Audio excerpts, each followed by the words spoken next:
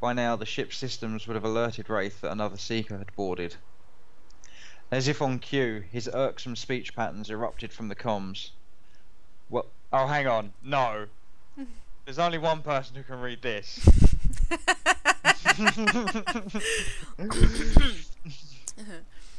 Allow me. Welcome aboard, dear colleague. I regretfully assume your intent is to interfere with my business. I wish to convince you otherwise, so let us parley.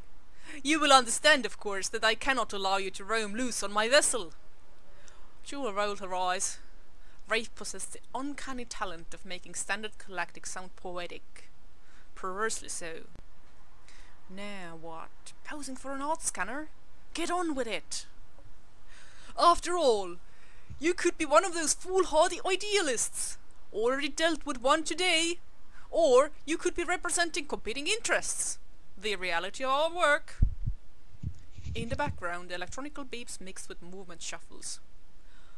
I am granting you controlled access to a location of my choosing. We shall meet there. Once the junction, uh, one of the junction pas passages opened up.